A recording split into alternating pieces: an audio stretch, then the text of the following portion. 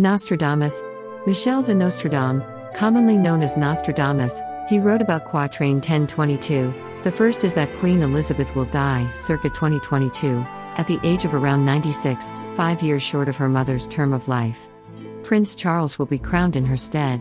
Wrote a collection of 942 quatrains in 1555 prophesying future events up till the year 3797, titled Les Prophéties.